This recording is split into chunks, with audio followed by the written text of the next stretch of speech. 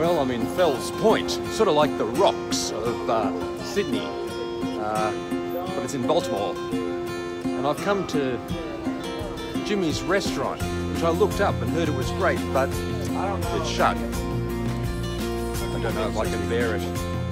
So I'm walking by the Horseshoe Road Out On, the Horseshoe Road Out On Saloon, the oldest bar this side of America. Uh, George Washington drank here. You see the rocks here? These are all made from uh, the rocks that came over in the sailing boats to keep the mast straight. They emptied them and uh, took grain and all their produce, but they used the rocks to make roads in Baltimore. You may be wondering why I'm standing outside the H&S Bakery factory. Well, it's a big employer in Baltimore. Makes the bread buns for McDonald's.